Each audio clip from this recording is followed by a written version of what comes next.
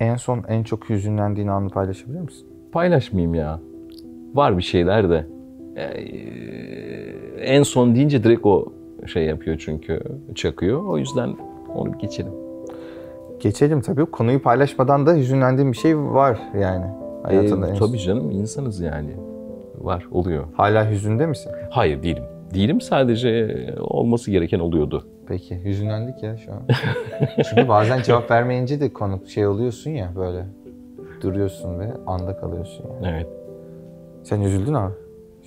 Şu an mı? Ha. Ha, bilmiyorum. Duygulandın yani. Ya öyle sorunca tabii şey yapıyorsun, çakıyor bir O şeyler. anı Ha. geliyor falan.